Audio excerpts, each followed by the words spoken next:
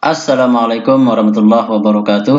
Halo teman-teman semua Berjumpa kembali dengan saya di channel ini. Di video kali ini saya akan berbagi tutorial Tentang cara atau bagaimana Kita menghitung jumlah hari kerja Dengan kita memanfaatkan fungsi atau rumus pada program Microsoft Excel teman-teman ya. Dengan memahami langkah ini Maka kita akan tahu bagaimana sih karyawan ini Jumlah hari kerjanya berapa itu akan sangat mudah sekali kita hitung dengan menggunakan formula atau rumus yang ada pada Microsoft Excel. Tapi sebelum kita mulai, bagi yang belum klik subscribe, silahkan klik dulu tombolnya dan aktifkan belnya untuk berlangganan video-video menarik lainnya. Baik, kita mulai teman-teman. Di sini saya memiliki sebuah data seperti ini teman-teman ya. Ini jumlah hari kerja, ini ada tiga karyawan ini hanya sekedar contoh teman-teman ya. Nanti bisa dikembangkan di sekolah atau di perusahaan atau di tempat kerja. Ini nama karyawan tanggal mulainya ini tanggal 3 bulan 9 2019 semuanya sama. Terus tanggal berakhirnya tanggal 10 bulan 10 2019 semuanya sama jumlah hari kerja.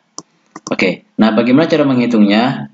Caranya sangat mudah sekali teman-teman ya di sini kita memanfaatkan fungsi atau formula network days teman-teman ya. Seperti biasa kita ketik sama dengan seperti ini ya. Kemudian teman-teman ketik network days. Itu sudah muncul ya. Tekan tab. Oke, kemudian start date ya. Ini tanggal dia mulai tanggal berapa. Kita klik yang ini teman-teman ya. Terus titik koma tergantung laptop ya terkadang juga bisa koma terkadang juga titik koma end date ya, tanggal berakhirnya. Oke. Setelah itu kita tutup.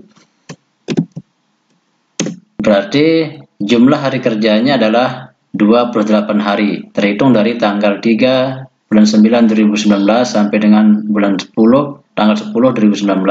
Berdasarkan perhitungan Excel yang bisa terbaca adalah dari hari Senin sampai dengan hari Jumat. Sabtu dan Minggu tidak terbaca karena dia termasuk dianggap libur. Jadi sudah disetting dari sananya bahwa Excel itu lima hari kerja teman-teman ya. Jadi Sabtu dan Minggu tidak terhitung. Jadi sudah muncul ini jumlah hari kerjanya 28 hari. Tinggal ditarik ke bawah. Semuanya sama. Kalau dia mulai masuk misal tanggal 7 berarti jumlah hari kerjanya 24 hari. Seperti itu teman-teman ya.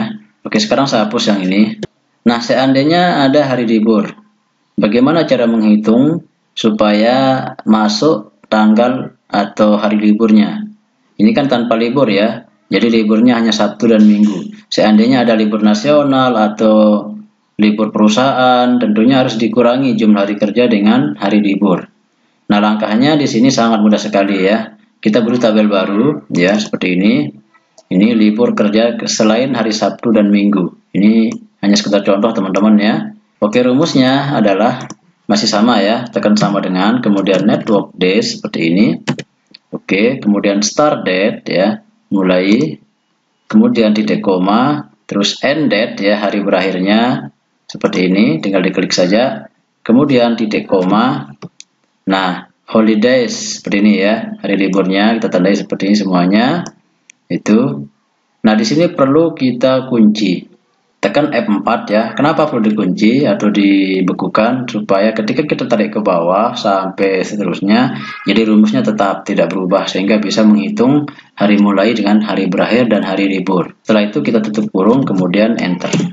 Itu ya teman-teman. Ini 25, kemudian kita tarik ke bawah seperti ini, maka jumlah harinya sama. Makanya perlu kita kunci seperti ini teman-teman ya. Seandainya tidak kita kunci, maka ini akan berubah. Dia bisa menjadi 26 dan seterusnya.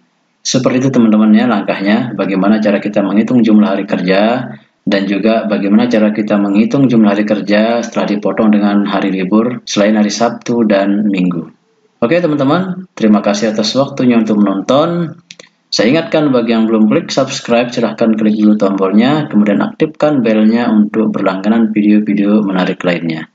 Terima kasih. Assalamualaikum warahmatullahi wabarakatuh.